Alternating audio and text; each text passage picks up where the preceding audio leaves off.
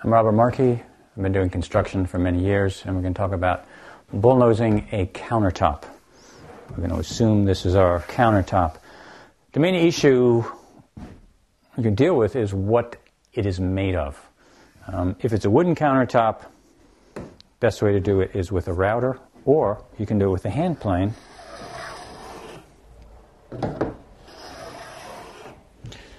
Get as much of a curve as you want. There are also actually bullnose hand planes, old time things that would cut that curve. Okay.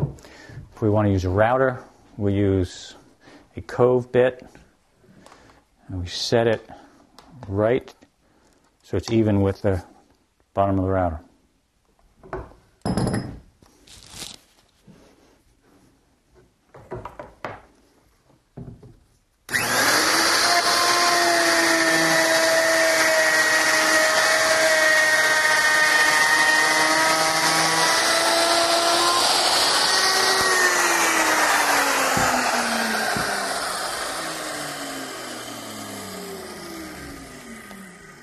And there you have your bull nose.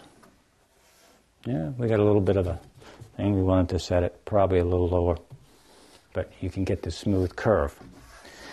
If it's not wood, uh, it's going to depend. If it's formica, there's really nothing you can do about it. There are different kind of laminates that you can use a router, and there are different kind of bits that you can use um, to do that.